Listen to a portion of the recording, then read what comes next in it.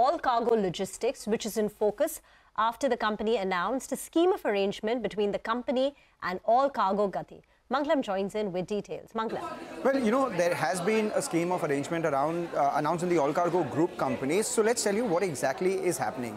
Currently, there are two uh, companies which are listed in contention for this scheme of arrangement. One is Allcargo Logistics.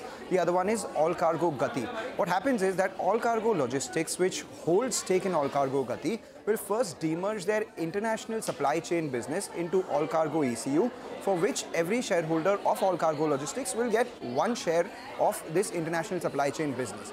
The remaining business, which is Allcargo Logistics, which has indirect holding in Gati, will then be merged. Gati will be merged into Allcargo Logistics, and for that, shareholders will get 63 share, shares of Allcargo Logistics for every 10 shares that they hold in Allcargo Gati itself.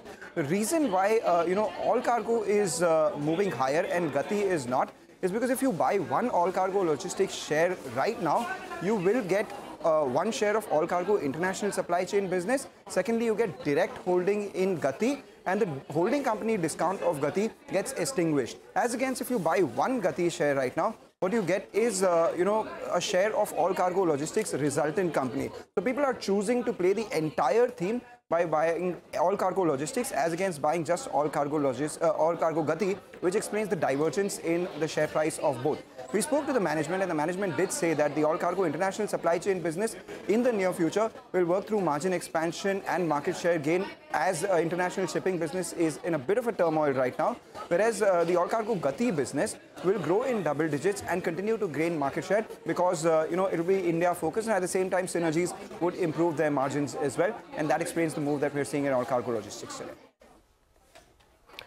Okay, thank you very much uh, for uh, explaining that. It's a bit complex. Prakash, uh, do you want to weigh in